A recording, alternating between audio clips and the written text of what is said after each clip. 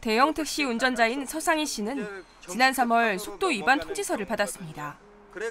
최대 속도가 110km로 제한된 자신의 차가 전남 해남의 도로에서 142km로 달렸다며 60일간 면허 정지 처분을 받게 된 겁니다. 교통안전공단의 협조로 서 씨의 차를 점검해 봤습니다. 가속 페달을 최대한 밟아도 110km 언저리를 맴돕니다. 내 차가 이 속도로 갈 수 없는데 왜 이게 나왔지 해가지고 당황스러워가지고 서 씨의 차를 적발한 암행 순찰차의 탑재형 단속 장비에 문제는 없는지 전남경찰청에 조사를 요청했습니다. 보시는 것처럼 차 안에 단속 장비를 탑재하고 있는데요. 이 앞에 있는 레이더를 이용해 과속 차량을 감지하고 있습니다. 단속 장비 제작 업체가 확인했더니 생각지도 못했던 결과가 나왔습니다.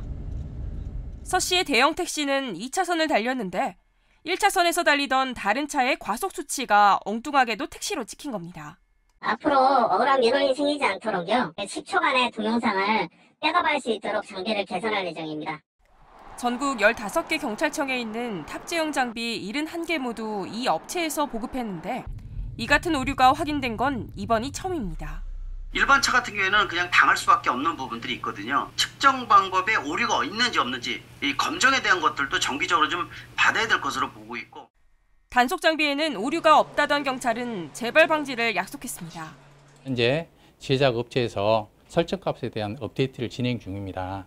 무인 영상실에서 오류 단속 데이터에 대한 모니터링을 강화하여 추후 이런 일이 없도록 운전자들의 경각심을 위해 도입한 암행 순찰차 단속. 단속보다 장비에 대한 신뢰를 회복하는 게 더 시급합니다.